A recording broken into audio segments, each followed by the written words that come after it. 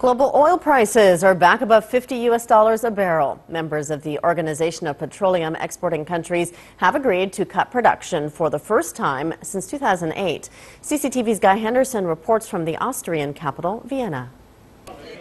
Even as OPEC ministers arrived, a deal wasn't certain. But nearly all this oil cartel's members agree that prolonged low prices have left a black hole in their balance sheets. Continued division, it seems, had become just too costly. The agreement that OPEC reduces approximately 1.2 million barrel a day to bring its ceiling to 32.5 million barrel per day, effective 1st of January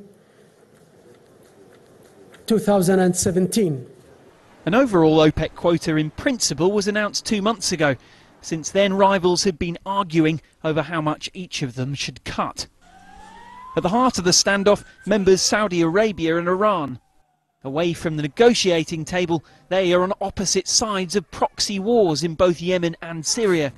Each has very different priorities. Saudi Arabia has benefited in terms of taking market share from Iran and Iraq because of the war, because of sanctions.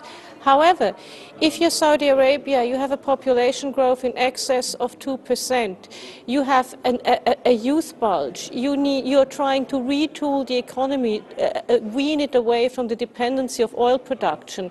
So you need to finance that somehow. In the end, both compromised. Tehran will freeze production close to current levels. Riyadh will cut its output by 486,000 barrels. Non-OPEC producers may be on board too, something Russian President Vladimir Putin had pushed for. Though there also lies the potential catch.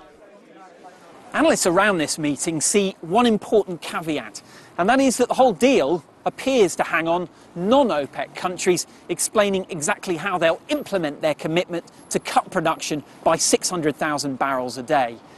It's thought likely that Russia will pledge about half of that. As to who else, officials here admit that is yet to be finalised. Guy Henderson, CCTV, Vienna.